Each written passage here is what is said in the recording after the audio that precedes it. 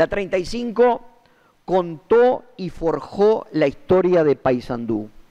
Operadores, informativistas, redactores, técnicos, dicotecarios, administrativos, cumplieron un fin social fundamental en el desarrollo de la comunidad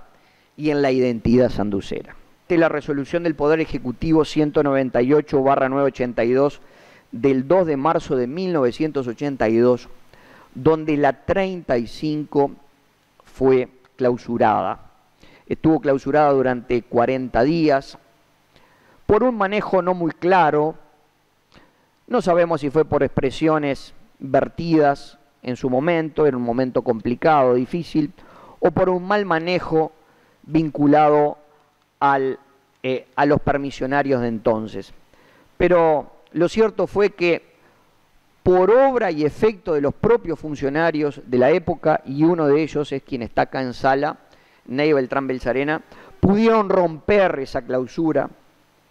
interviniendo por sus puestos de trabajo, pero también por lo que representaba la primera radio del interior y la primera radio de Paysandú, como era la 35, y volver al aire 40 días más tarde para restablecer ese servicio social tan importante que era el de la comunicación social y en el cual, naturalmente,